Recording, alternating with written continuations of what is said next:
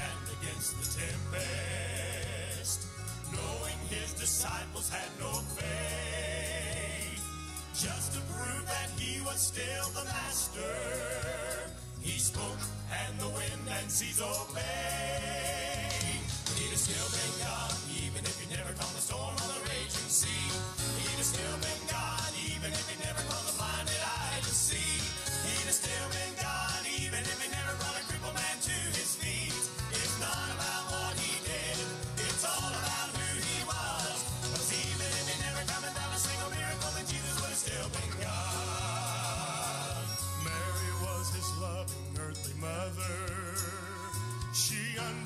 the purpose of her son.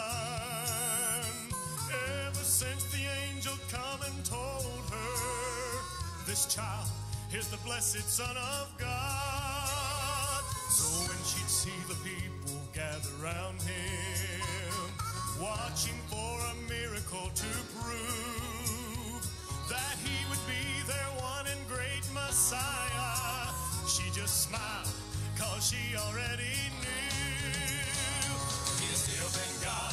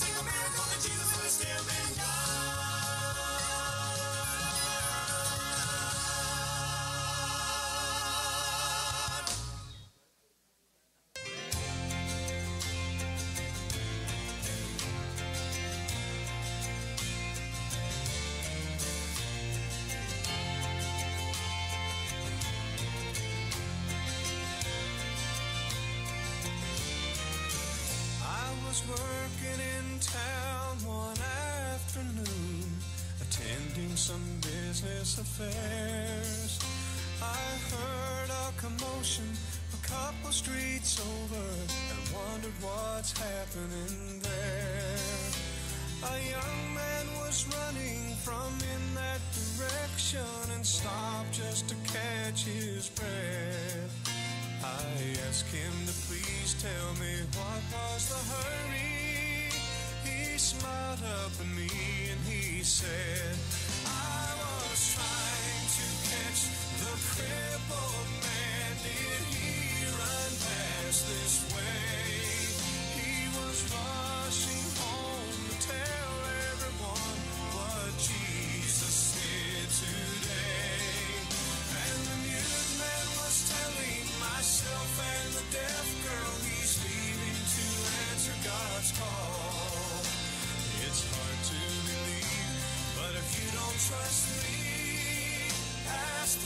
man, he saw it all. Ask the blind man, he saw it all.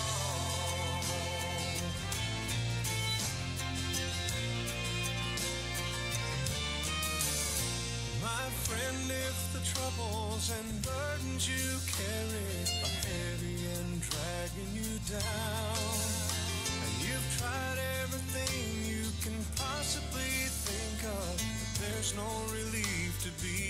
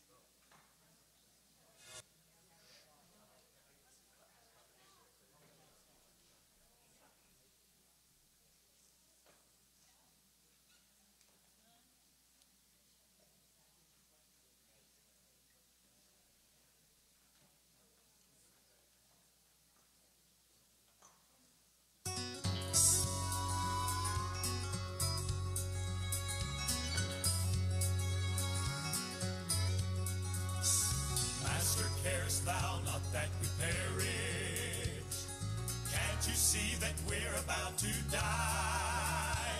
This boat we're on is surely going under. Save us now, his disciples cried. So Jesus rose to stand against the tempest, knowing his disciples had no faith. Just to prove that he was still the master, he spoke and the wind and seas obeyed. He'd have still been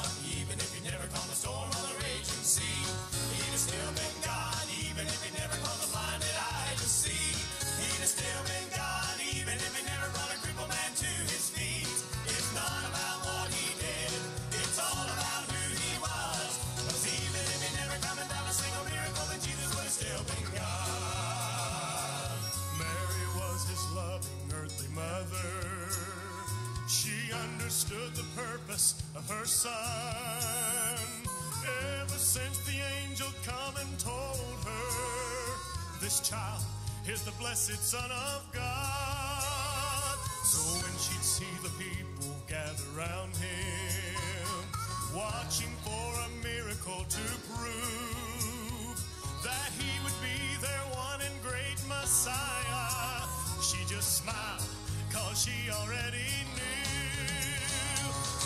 Still been God, even if he never calmed a storm on the raging sea. He'd have still been God, even if he never called the blinded eye to see. He'd have still been God, even if he never brought a crippled man to his feet. It's not about what he did, it's all about who he was. 'Cause even if he never come and done a single miracle, then Jesus would have still been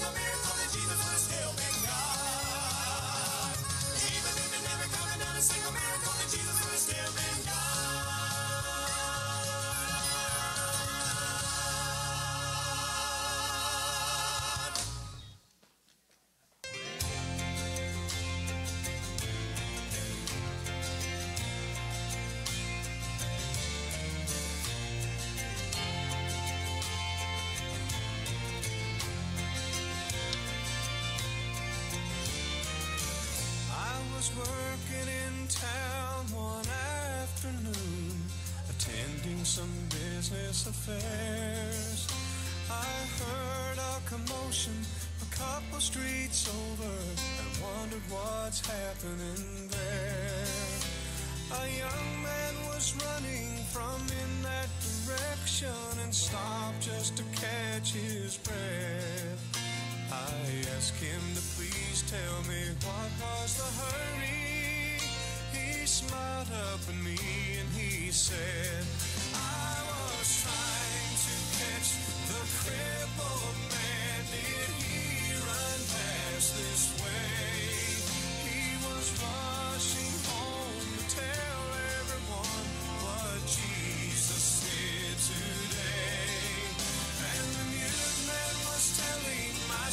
and the deaf girl he's leaving to answer God's call.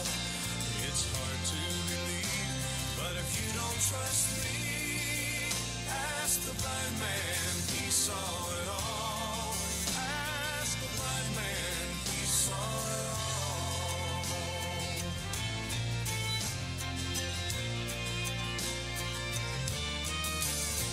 My friend, if the troubles and burdens you carry are heavy and dragging you down, and you've tried everything you can possibly think of, but there's no relief to be found.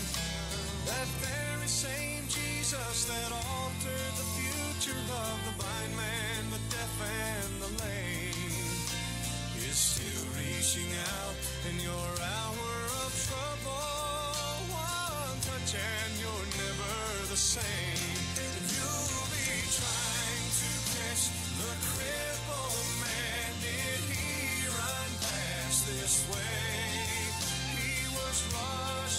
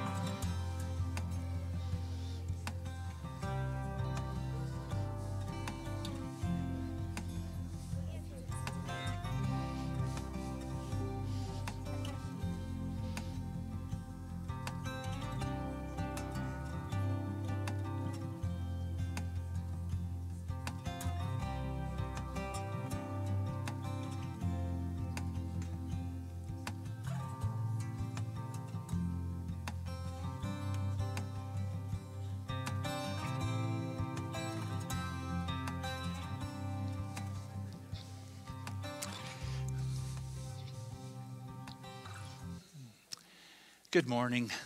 It is so good to have all of you here. Thanks so much for being a part of the celebration of a life well lived. Um, we're excited to have a lot of different moving parts this morning. A lot of different folks will have the chance to share some of their memories of Lynn and the impression that Lynn and Kathy have made on so many.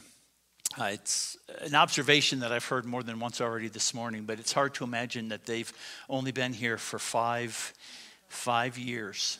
And um, in those five years, they have become dear, dear friends who are loved deeply and, and uh, really cherished. And so this morning is going to be just a wonderful time of remembering. Um, one of the last things that Lynn said to me, and uh, he gave me the father look, the eye of the father, so I have to do this. He said, Would you please when you get together with everybody, would you please tell everybody if I have done anything to offend you, please forgive me. And if I have done anything that's been a blessing or an encouragement to you, let's just praise the Lord. Um, do the service and then let's go eat. And, and that's, that's what his uh, request was. So that's what we're going to do. And uh, I'd like to begin this morning with just a word of prayer and ask the Lord to bless this time together. Father, we are thankful for the privilege that uh, has been ours to know Lynn. Um, not nearly as long as we expected, and yet we understand your timing is perfect. And we know that your plan um, does not lack for anything. And so we accept it from your hand, and we just pause to thank you for even the short number of years that uh, we were blessed to walk alongside Lynn and to laugh with him and to serve with him and to allow you to teach us many things through him. Uh, I pray this morning would be first and foremost a service that would bring honor and glory to your name. Uh, you are Lynn's God. You, you are the God that he right now is basking in the presence of. And we just pray that you would receive all the praise and the honor and the glory for everything that's remembered, everything that's shared, the songs that we sing, the stories that we tell, Lord. May they all point to you. And I pray that, uh, that our time together would also be an encouragement uh, to Kathy and to the family and to all of these friends gathered. And that as well, it would be a challenge because Lynn's life was a challenge to us. And we pray that you'd continue to use his memory to accomplish things in our lives for your honor and glory. And so, Father, we give you this time and we thank you uh, for the joy, the privilege that is ours to be here this morning. And uh, we ask that you would be pleased to uh, make this morning special. And we'll ask it in Jesus' name. Amen. 2 Corinthians 1 3 through 6. Blessed be the God and Father of our Lord Jesus Christ, the Father of mercies and God of all comfort who comforts us in all of our affliction, so that we may be able to comfort those who are in any affliction, with the comfort with which we ourselves are comforted by God. For as we share abundantly in Christ's sufferings, so through Christ share we abundantly, share abundantly in comfort, in comfort too. If we are afflicted, we are afflicted it, is for, it is for your comfort.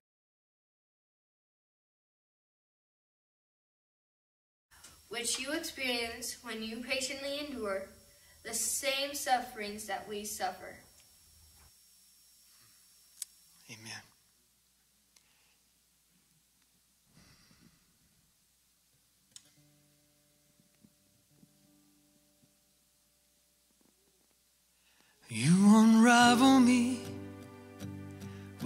Melody.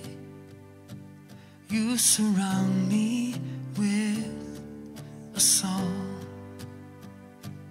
of deliverance from my enemies till all my fears are gone. I'm no longer a slave a child of God. I'm no longer a slave to fear. I am a child of God. From my mother's womb, you have chosen me. Your love has called been born again into your family. Your blood flows through my veins. I'm no longer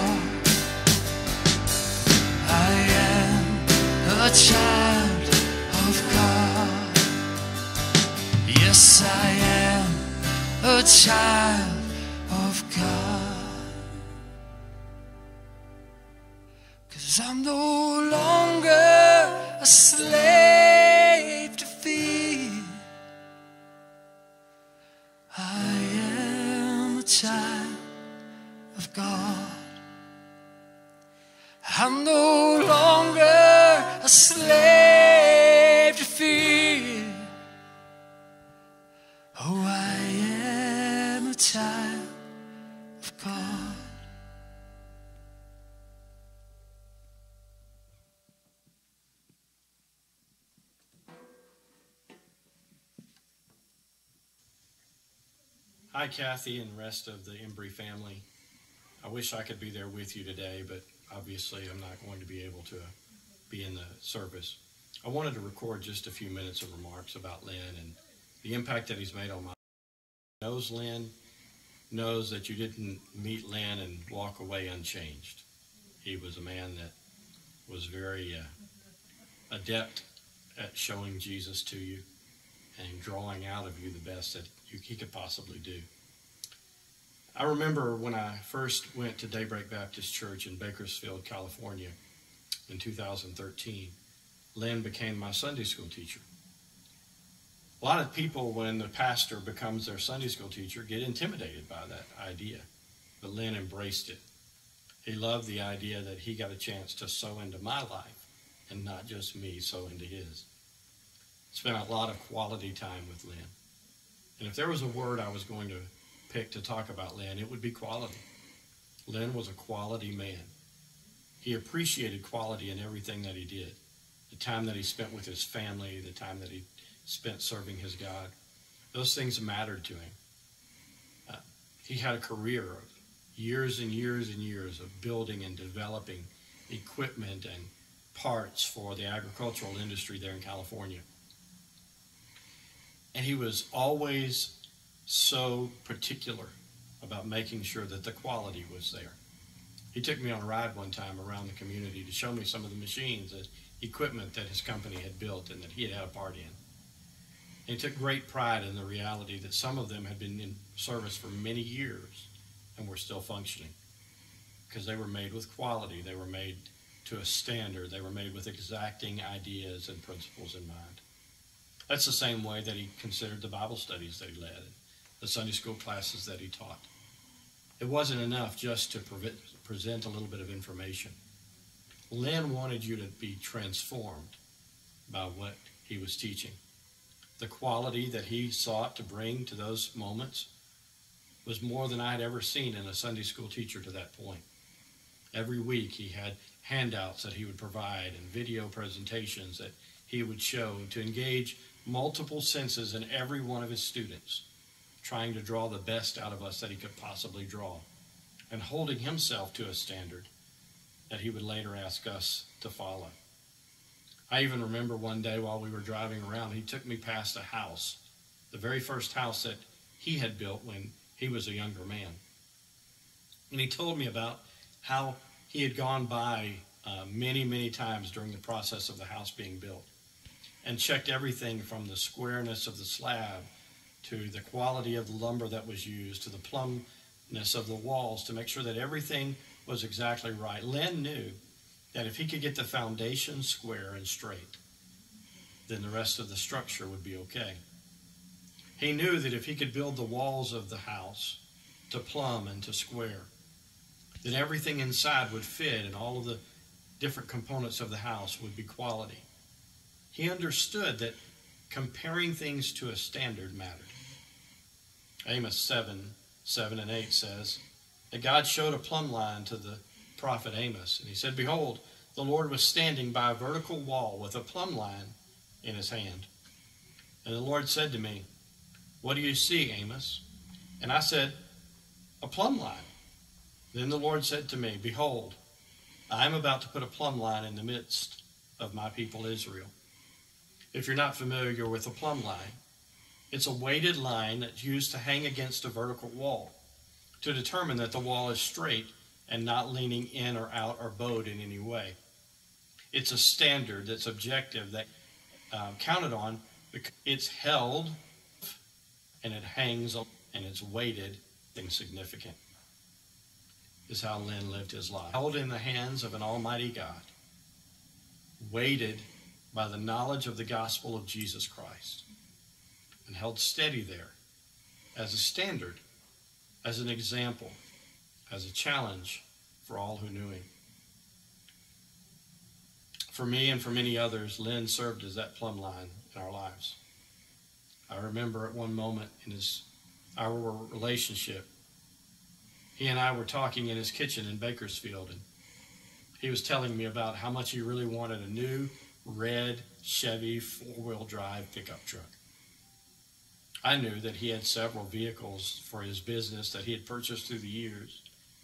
And I knew that the truck that he had then was one he used for business purposes. And so I knew that he could replace that truck with a red Chevy four-wheel drive pickup truck. And so I asked him, Lynn, why haven't you just gone and got your truck? His answer to me, sheer willpower, and high moral character. He held a standard up for me because he knew that I too was looking at making a purchase of a vehicle like that, and it wasn't the right time for my family. And being able to look at a standard of someone who was waiting to be a good steward of what God provided encouraged me to do the same for my family. He was a plumb line when I dealt with frustrations with parenting or family life or even in the church. He was someone I could call and he was steady, he was sure. He was a standard that I could look to. He helped me to keep my heart right when I was under pressure, whether it was from problems that I was facing, health issues that came up, family losses. He was always there to encourage me and to remind me that God knew where I was and that he had the circumstances figured out. He also taught me that there's only way, one way that a man can be an effective plumb line for others. Just like for the prophet Amos, the plumb line was only effective because it was held from above by the master's hand. You and I, like Lynn, can only be effective if our life is held in the hands of the master. If he could tell you anything today, that's what Lynn Embry would tell you. The standard is Jesus, and your life needs to be conformed to his. I love you. I wish I could be there for you, Kathy and, and family. And know that you're in our prayers every day. Father, I pray for the Embry family. Would you strengthen and encourage them? In Jesus' name, amen.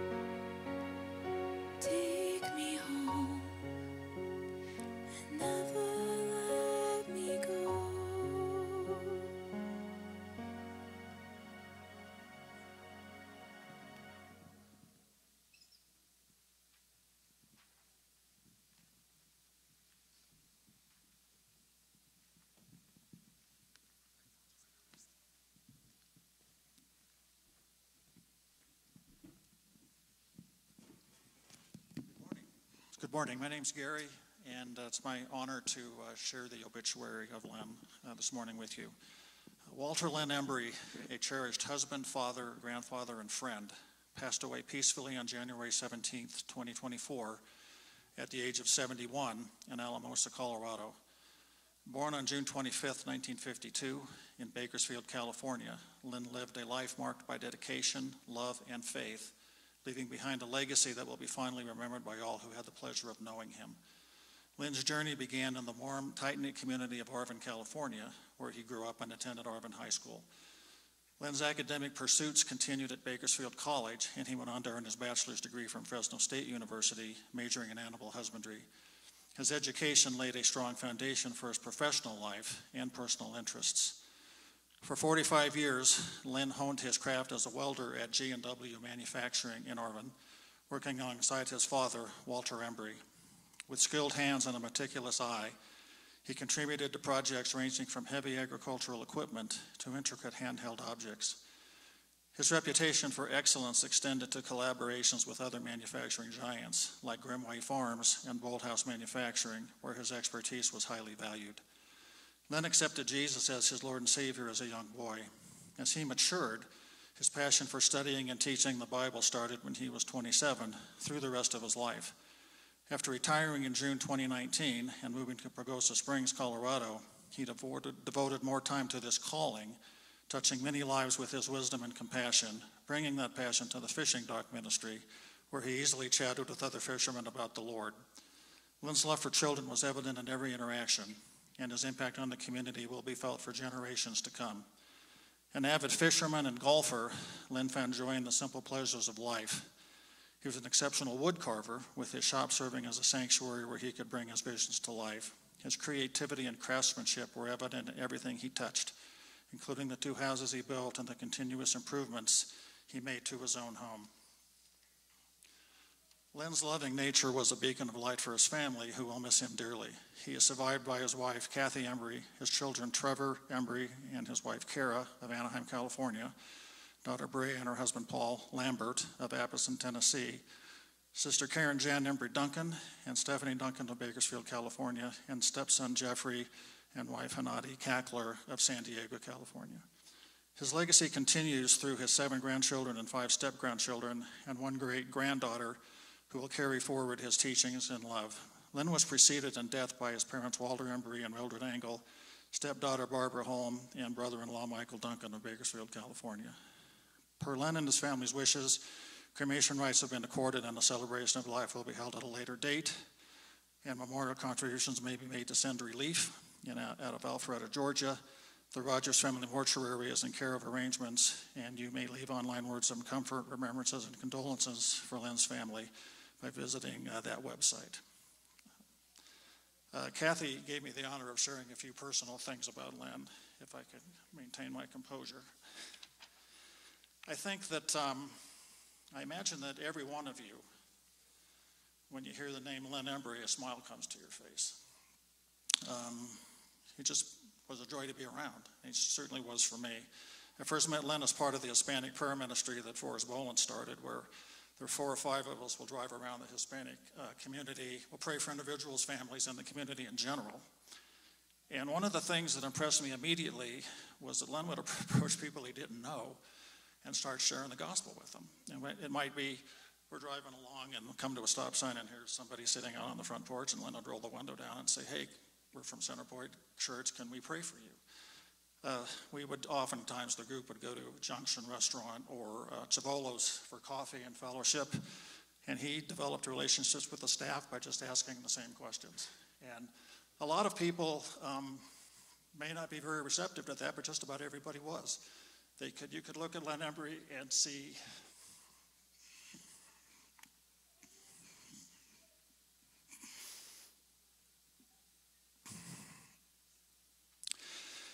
the, the sincerity and the conviction that he had. And people would open up to him. And he'd be the first to tell you how much Christ had changed him. And he wanted to share his faith and the transformative power of Christ with everyone that he met. And then formed several great friendships this way.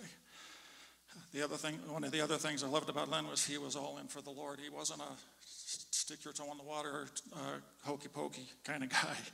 Far from it. You know, he led Bible studies. He was a deacon. He loved on the Centerpoint youth. He mentored individuals. He was a genuine Barnabas, a real encourager. Uh, he exuded the love of Christ in everything that he did. Had an infectious smile, a great laugh, wonderful sense of humor. When they first joined the worship team as a guitarist, he was very encouraging to me. He keeps trying to get me to laugh because I was always nervous about losing my place. So I'd look over at him and he's doing this. Um, one morning, we would have a rehearsal. He comes up real seriously, and you all know this. Lionel Tilda said he gets this devious, mischievous look in his eye. So you know something's coming, and I think he's going to ask me a serious question. He goes, I have a request. Would you guys please play Stairway to Heaven by Led Zeppelin? so uh, that was Lynn. So you, you all know what I'm talking about. Um, you know, it's one thing to praise God when things are going well. It's another thing entirely.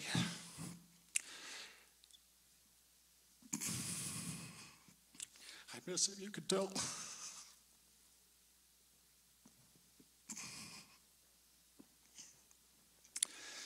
It's another thing entirely to praise God when things aren't going well. He never wavered in his faith or his joy in the Lord, even in the last days. And in fact, he continually witnessed to the hospital staff members at Alamos right up until the time the Lord took him up that stairway to heaven to spend eternity with the Lord. He was a great friend, confident and an inspiration. We love you, Lynn. We miss you. And we celebrate your life with eternity with the Lord.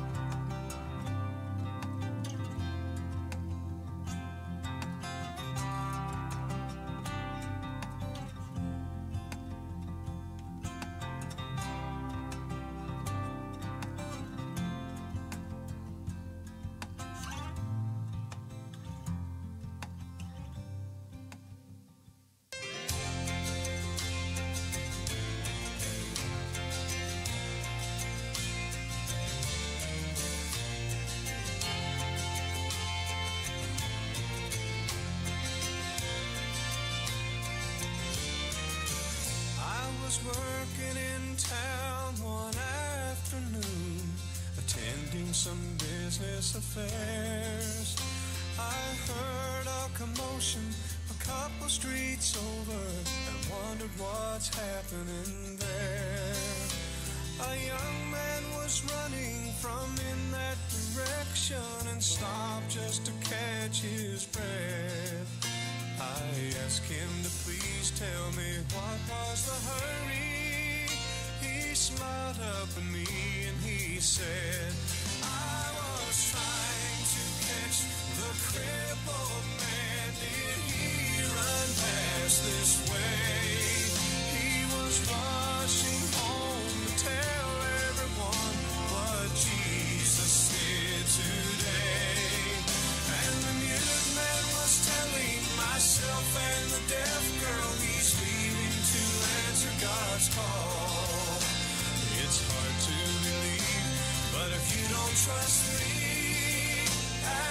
blind man, he saw it all. Ask the blind man, he saw it all.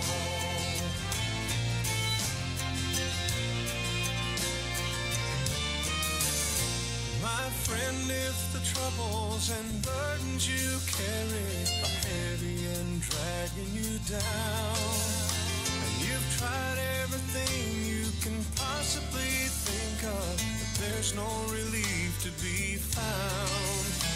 That very same Jesus that altered the future of the blind man, the deaf, and the lame is still reaching out in your hour of trouble. One touch and you're never the same.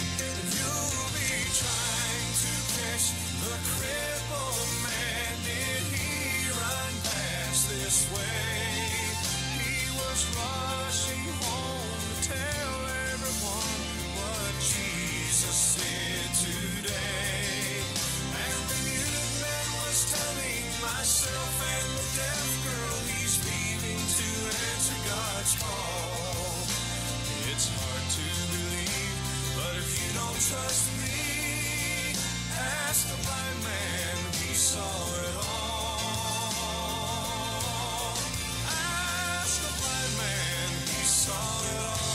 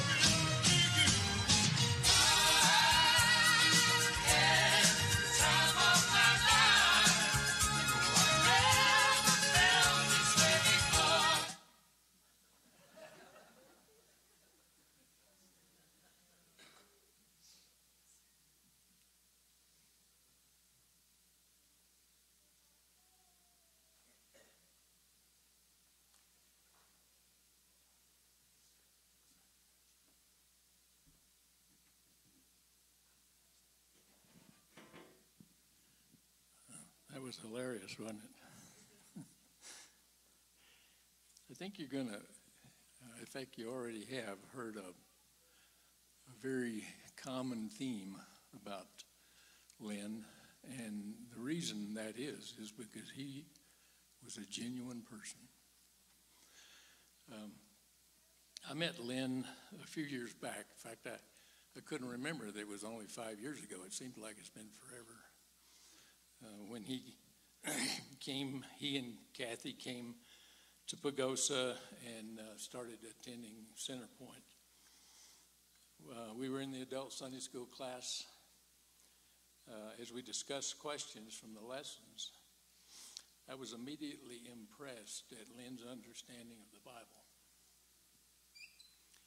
Lynn's comments provided clarity and insightfulness while at the same time showed he had a humble spirit. His countenance exuded happiness and joy. As time went on, I drew closer to him as we participated in various church activities. These activities span the range of opportunities for service to the Lord. Lynn was and is an influence to all who know him. He was an inspiring teacher of God's Word. He showed love and mercy to both friend and acquaintance and caused everyone around him to have the desire to know Jesus as he did. I considered Lynn both a friend and a mentor. He was passionately committed to Christ. He had an extraordinary love for people, and he had a heart of a servant. He was sensitive and submitted to the Holy Spirit. He was obedient to God's word. He was morally pure, evangelically bold, fully involved in the Christian fellowship. He was just and generous and lived a purposeful life. Lynn was undoubtedly a servant of the Lord here on earth.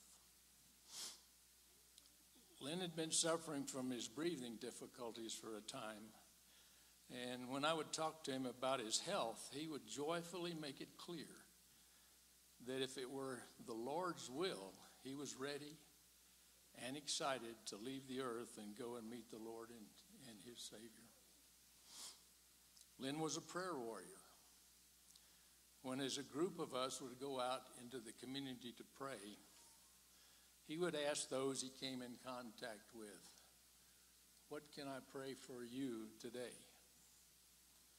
In regard to Lynn's health, my prayer was a human reaction for God to provide a miraculous healing.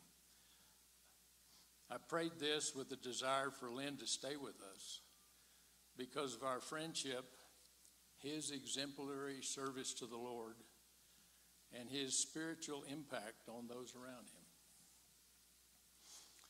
If you would look at Psalms 116, verse 15,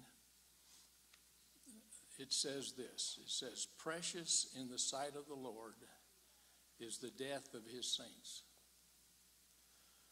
An online commentary defines saints in this way Saints are not born saints, they become saints by being reborn. Because we have all sinned and fallen short of the glory of God, we are all in need of spiritual rebirth, without which we will continue in our sinful state throughout eternity. But God, in His great mercy and grace, has provided the only, and let me emphasize that, only means for turning a sinner into a saint. And that's the Lord Jesus Christ, who came to give his life as a ransom for many. When we confess our need for a Savior from our, uh, Savior from our sin and accept his sacrifice on the cross on our behalf, we become saints. I will confidently say that Lynn was a saint. In fact, no, I would say more. I would say he was a saint of saints. Digging deeper, why does God see anyone's death as precious? Precious means of great value or worth. To understand this reaction from God, we must remember that our hearts, I'm sorry, that our human form because of our sinful nature, God separated himself from us. Couple that with the fact that we are on the earth only for a time, we can conclude that death for a believer means the end of our earthly struggles and suffering and the beginning of an eternal life with God. So, what does Psalm 116, 15 tell us about Lynn's life? and his death as a believer of Jesus Christ. First, it confirms that God knew all about Lynn's life here on earth, that Lynn was a great ambassador for him, and after a great life of service, God was ready to call him home. Second, God celebrates Lynn's death. He considers it precious because God has been longing to see Lynn and spend eternity with him from the time that Lynn accepted Jesus as his Savior. Lynn is now free from all the evils of this earth and is with the Lord. How much more precious can Lynn's passing be, although those of us left behind will dearly miss him? With regard to my prayer for a miraculous healing, my prayer for Lynn was answered in the affirmative. What greater miracle can we as humans experience than to leave this earth and fellowship with our Lord and Savior for all eternity? This miracle is only possible because Jesus Christ, the Son of God, came as a man, lived in a sinless life, suffered and died for our sins, and was resurrected by God. If we believe this with all our heart and acknowledge it to those around us, we too will experience the miracle of eternal life. Jesus' resurrection proved there would be life after death. Lynn knew this and is now with the Lord. God and Lynn are together, rejoicing, and we should rejoice also, even though we will miss his wonderful spirit until the Lord also calls us home. With the knowledge that Christ provided us eternity with the Lord and reunion with Lynn and other loved ones, we should acknowledge that we too will experience this miracle. See you soon, Lynn, my brother.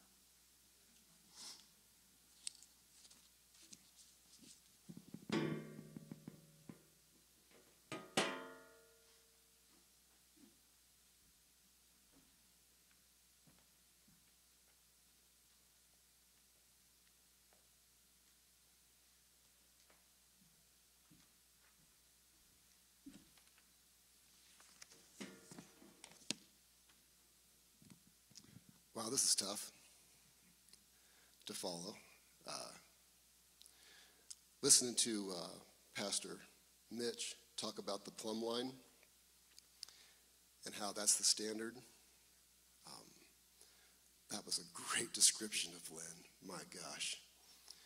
Uh, to hear Gary talk about Lynn and the impact that he had on Gary's life in just a short amount of time amazing. To hear Art uh, share the gospel, which is exactly what Lynn would have wanted done during this service. Exactly.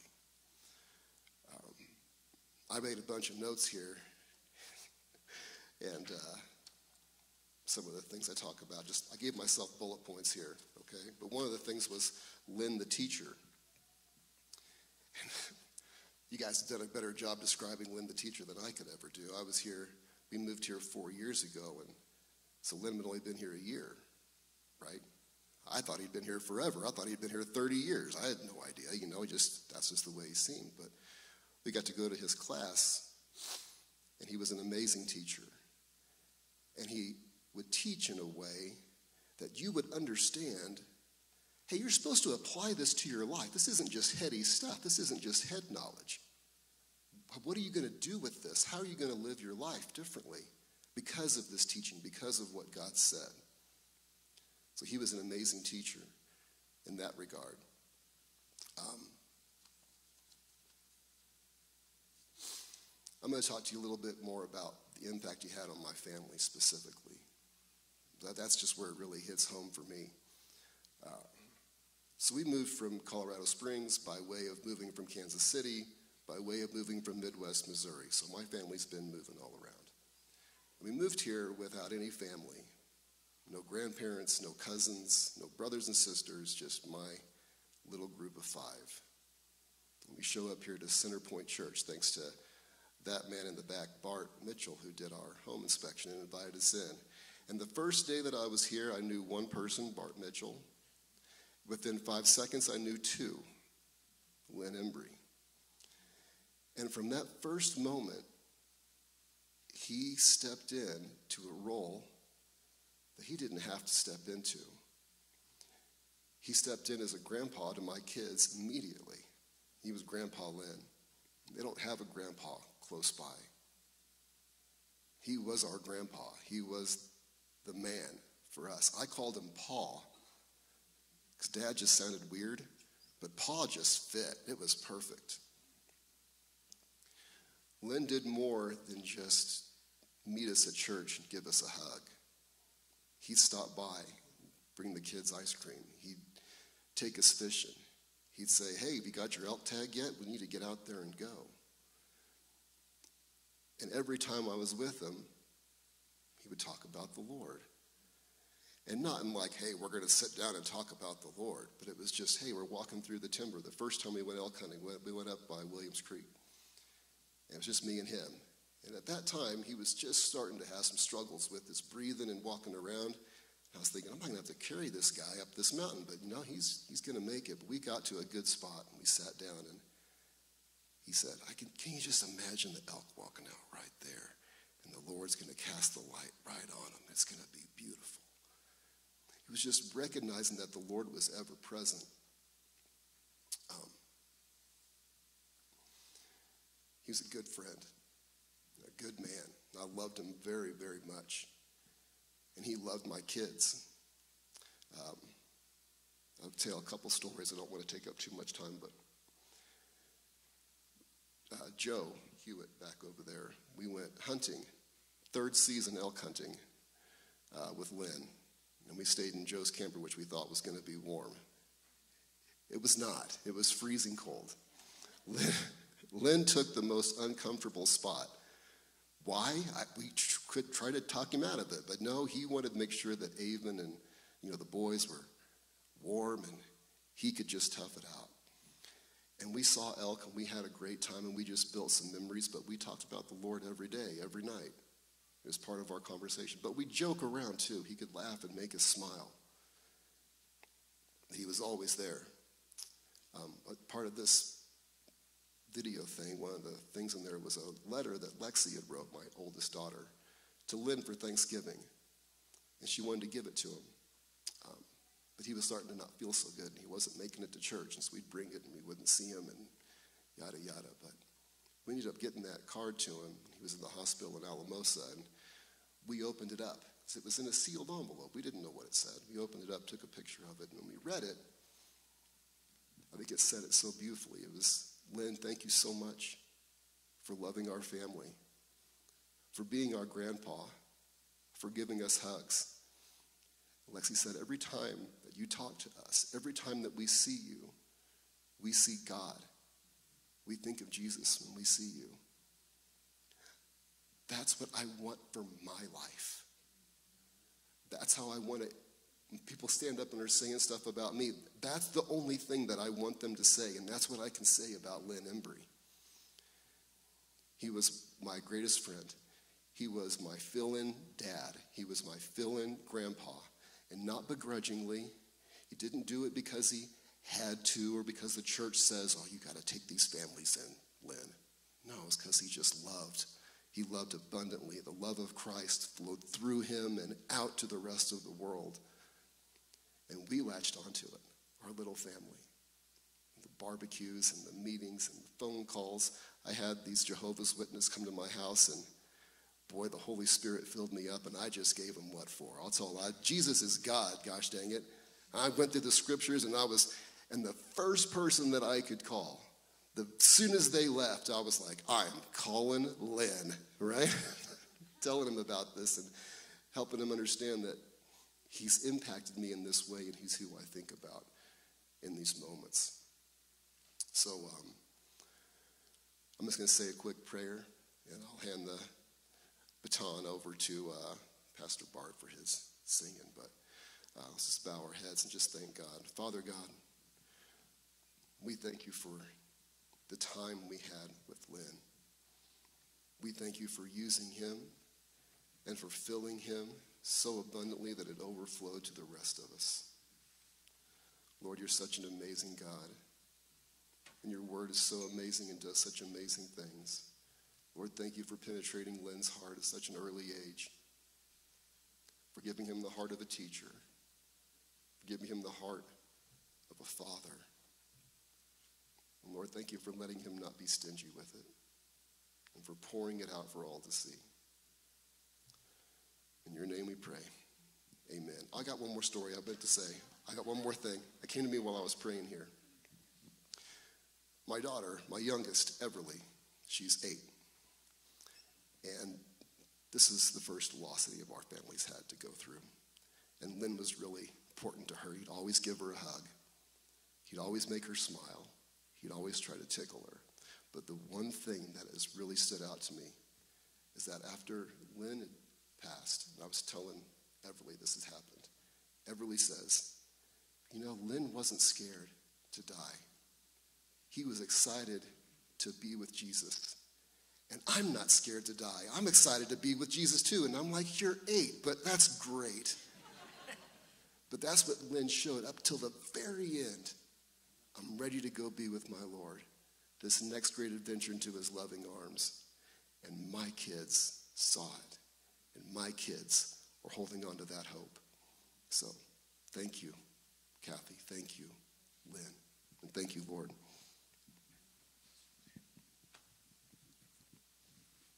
Thank you, brother. So we're going to sing How Great Thou Art now. And if you guys want to, please stand. If you don't, it's perfectly fine. Just worship your God.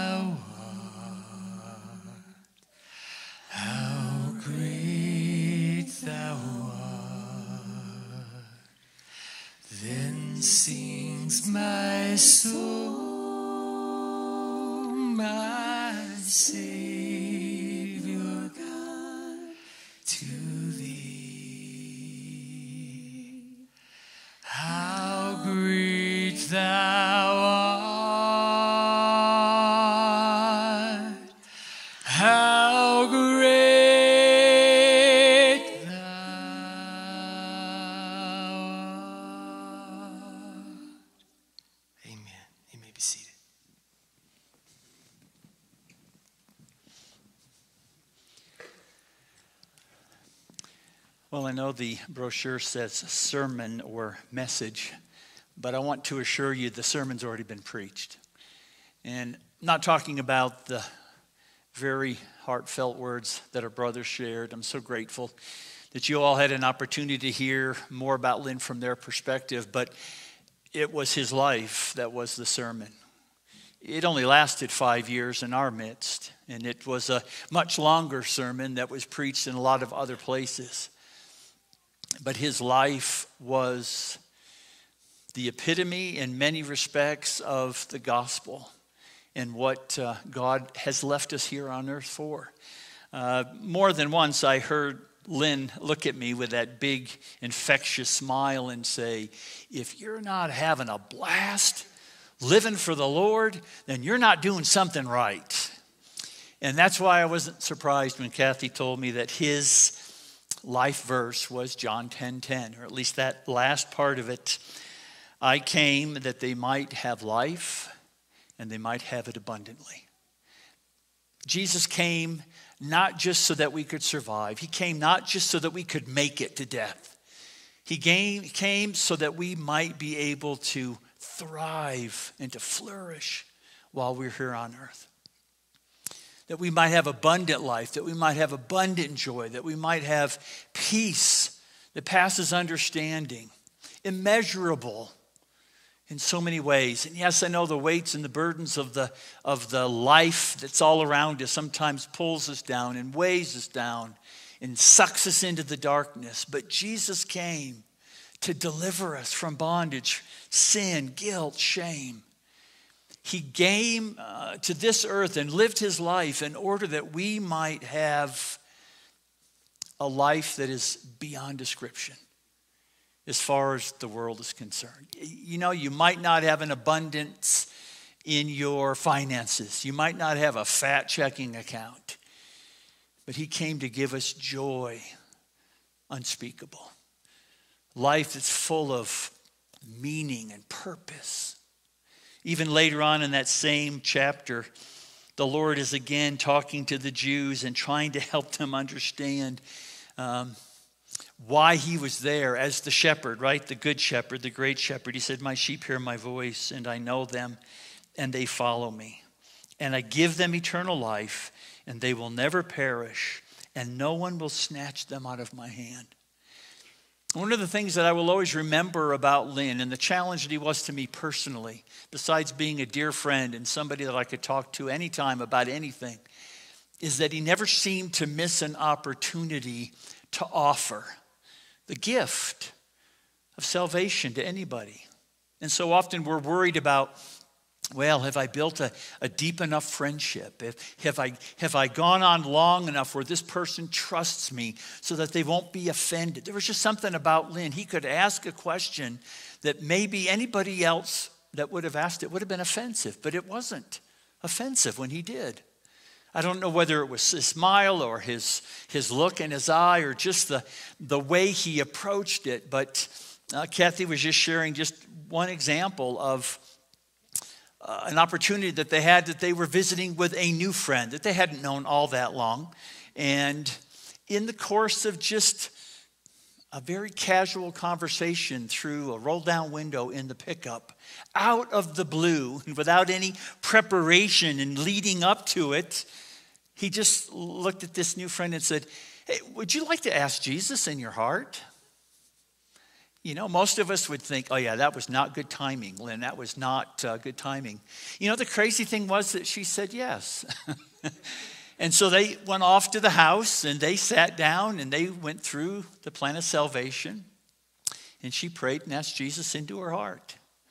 You know, we're big on lifestyle evangelism. We're build on, uh, big on building relationships in order to have the chance to share the gospel. Sometimes I'm afraid we forget to ask the question. We just keep building and building and building. But at some point, the reason why we're doing that is so that we can look at someone and say, Would you like abundant life? Would you like peace that will blow your mind? Would you like a friend who sticks closer than a brother? Would you like a God who promises to never leave you or forsake you? Just ask the question. Just offer the gift. If you've done any job of building a relationship, the worst that will happen is they'll say, Not right now. And you can always smile and say, Okay, I'll try again later. That's Lynn. That's the legacy that he leaves for us. And sometimes when I'm arguing with the Lord about stuff, you know, one of my one of my questions is why do you keep taking the people that seem to be working the hardest and doing the most? And sometimes I wonder if his answer might not be so that there'll be more work for the, left, the rest of you to get about and do.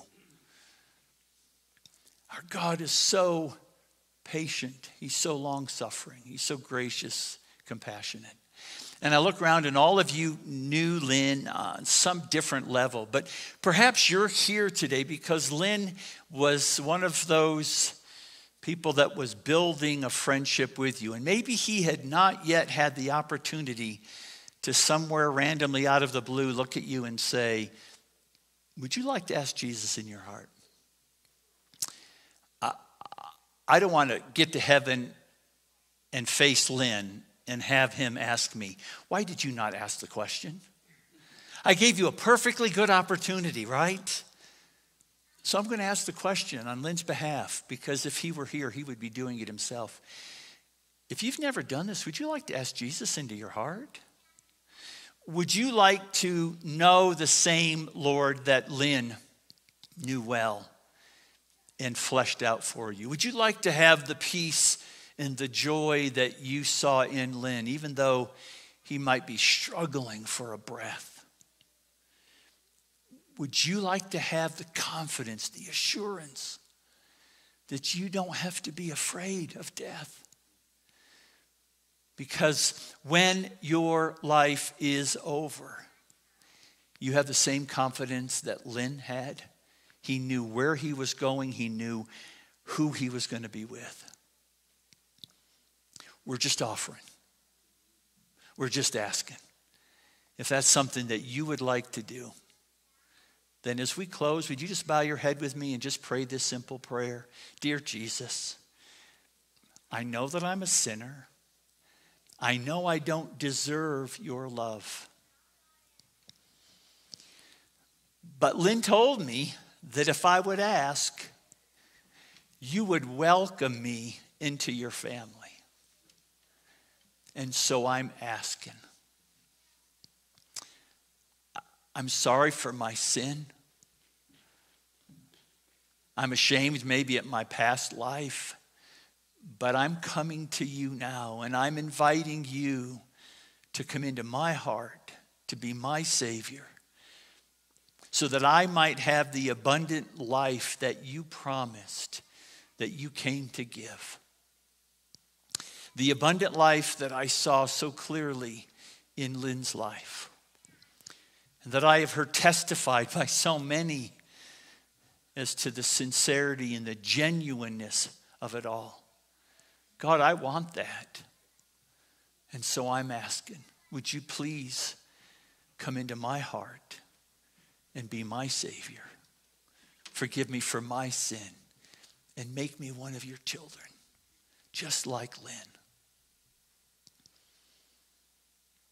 Father, that's a prayer that all of us, I trust, have prayed at some point in our life. May you use the testimony, the memory, the challenge of the example that Lynn lived before us to make us more intentional about making friendships and asking the question. Lord, I pray that you would wrap your arms around Kathy, that you just would love on her through all of us and, and her family and all of her friends that she's left in other parts of the country to come be part of our family. Would you just continue to love on her and pour into her and remind her of her value, her importance to you, and how important she is to us as she continues to leave her legacy. That, Lord, if you don't come back one of these days in our lifetime to take us home, we might stand around and talk about as well. Lord, thank you for offering us all that you do. Thank you for giving us such great examples to see what it really looks like through. And I pray that we would all be really, really careful this morning that we don't leave without being sure that we've answered that question that Lynn would have asked us given enough time. And I pray that we would be prepared to answer it yes, I am ready to invite Jesus into my heart. So bless the rest of our time together and our time of fellowship, Lord. May you be honored in it and through it. And, and may the world continue to wonder at how we love each other because of the love that you've put in our hearts. And we'll thank you for it in Jesus' name. Amen. Thank you, Pastor. So we're going to sing our last song, and um, it's called "I'll Fly Away." And uh, it's real hard not to stand up and just do a little moving on this one. So, oh, thanks for coming, everybody, and for honoring Lynn and Kathy and, his, and their family. All right, here we go.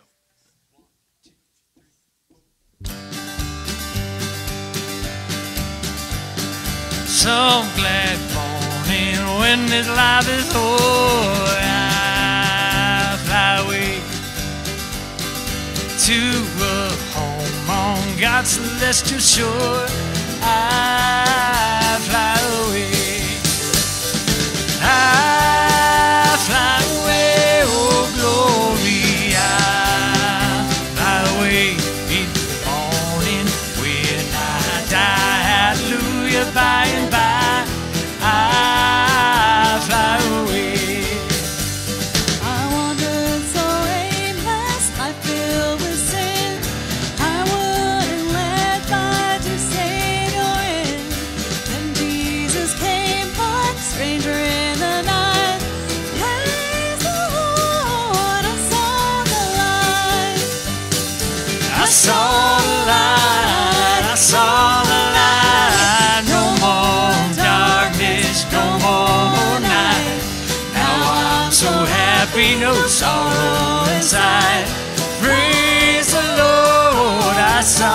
Saw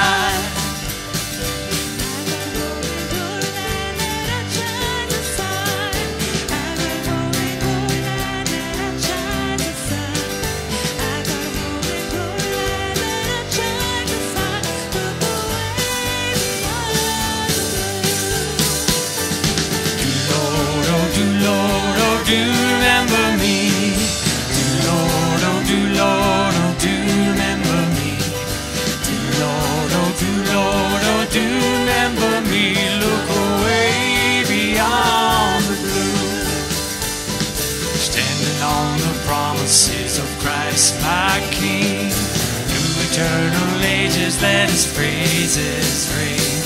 Glory in the highest I will shout and sing. Standing on the promises of God. Oh, I'm standing, standing, standing on the promises of God, my Savior. Standing, standing, I'm standing on the promises of God.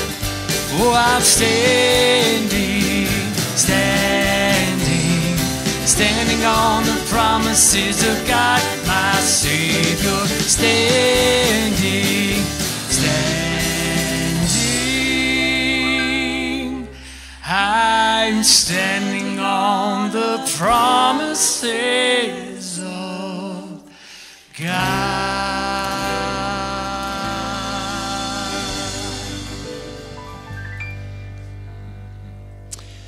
Thank you, worship team. If you can stay with us, you are invited to join us in the fellowship hall. But I want to let you know if you need to slip away without joining us for some refreshments, Kathy would love to visit with you up here before you leave. Take advantage of that opportunity. If you can stay, let's all move in that direction and, uh, and let those who need to leave be the ones to talk with her now. Thank you again so much for being a part of this special day. God bless you as you go. Have a wonderful day. You're dismissed.